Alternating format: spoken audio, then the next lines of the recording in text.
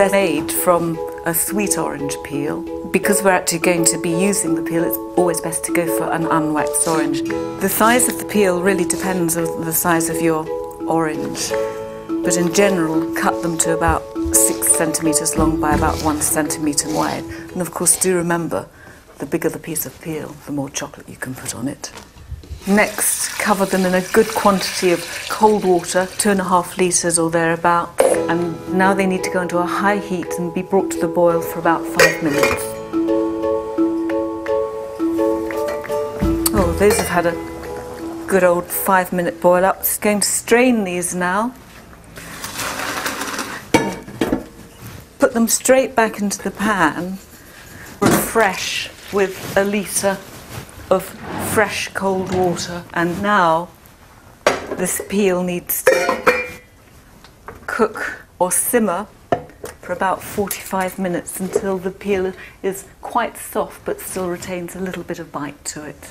This has now been cooking for about 45 minutes and the peel is quite nice and soft so I can now start the candying process by adding 500 grams of either golden gran or golden caster sugar. I'm going to give it a quick stir just to make sure the sugar is fully dissolved. It won't take long because the sugar's gone into boiling water. Then all you have to do is pop the lid on and leave it on a very gentle heat to simmer for 30 minutes. I'm going to remove this from the heat and let it stand for 24 hours to allow the softened orange peel to absorb the sugar syrup. And the next day, it's time to do it again.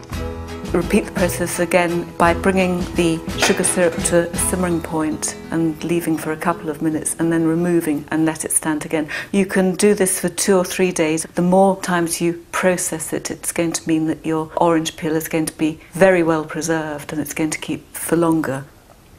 So after a couple of days of these orange pieces being in a, a sugar bath, the softened peel has absorbed the sugar syrup and that's what's going to keep them from going off. I'm going to leave these for 12 hours just in a warm place for them to dry off and begin to harden.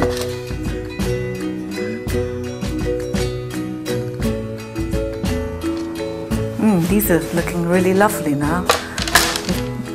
Still quite pliable, but a lovely colour.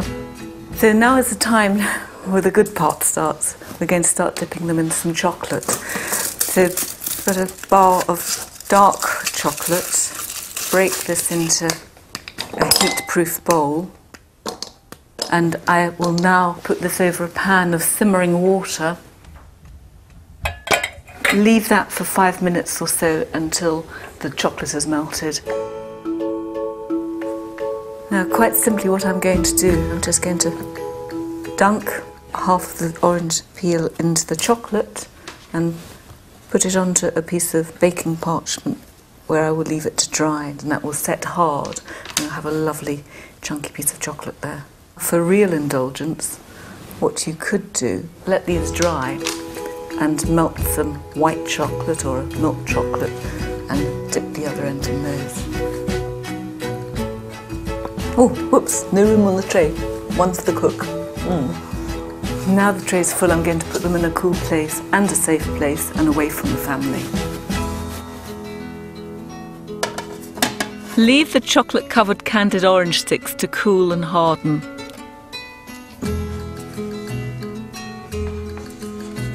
Once any candied peel is dipped in chocolate, it's best enjoyed within three weeks. And these sweet delights can be wrapped up and presented as the perfect gift for any special occasion. Quite simply, a chocolatey citrus delight. That's a perfect present for anyone.